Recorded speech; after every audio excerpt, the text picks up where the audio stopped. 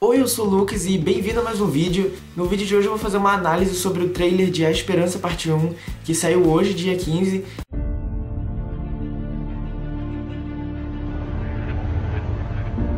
I never wanted any of this.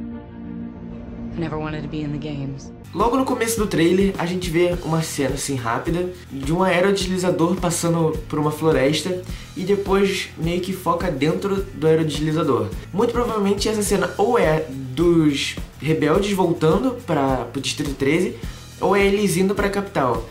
Se for indo para a capital, ou é o resgate do Pita ou é já a parte da guerra. E aí vem uma cena que eu achei muito interessante, que é a primeira visão assim do Distrito 13 que é o Boggs e a Katniss descendo de elevador. E ficou, tipo, muito maneiro. Eu achei que ficou melhor até do que eu pensava. E depois, logo dessa cena, depois não, tipo, um pouquinho mais pra frente, aparece um, galpão cheio de munição e de aviões e de aerodeslizadores e várias pessoas quase semi-escravas ali trabalhando pro Distrito 13, pros rebeldes. E aí veio o pronunciamento do Pita, que acho que é no começo do filme, assim como no livro foi no começo. E é nesse pronunciamento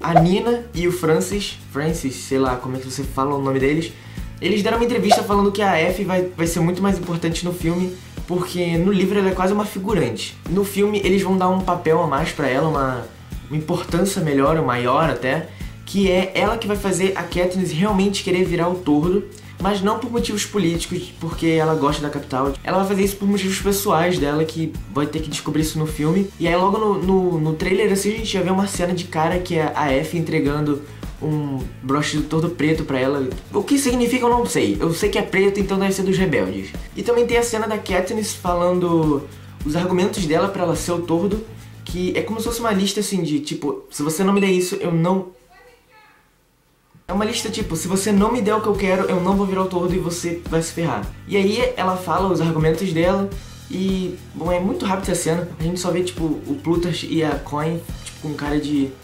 O que, que essa garota tá falando? Tipo, como se ela não fosse arrumar nada, né? You will rescue Peeta at the earliest opportunity, or you will find another Mockingjay. E aí vem a entrevista do, do Pita com o Caesar.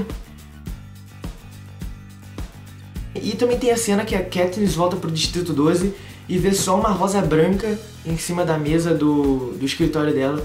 Bom, se você tem um pouquinho de criatividade, você vai pensar que é do Snow. Mas eu não vou dar spoiler aqui porque eu sou um cara legal. E também tem a cena que ela vai visitar o hospital, se eu não me engano, no Distrito 8, e ela vê várias pessoas feridas e tal. É o mesmo hospital que depois, algumas cenas depois, faz cabum e, bom, você pode ver geral correndo, coisas pegando fogo, a Katniss chorando, então você já deve saber que é essa cena mesmo. E também tem uma cena que eu achei muito importante, que é quando o, o Beat, ou Bet, sei lá, e aí ele entrega as armas novas pro Gale e pra Katniss que, tipo, fazem uma diferença muito grande, que explodem e tudo mais. E logo depois no finalzinho é a parte, é com essas armas que eles explodem os dois aerodeslizadores.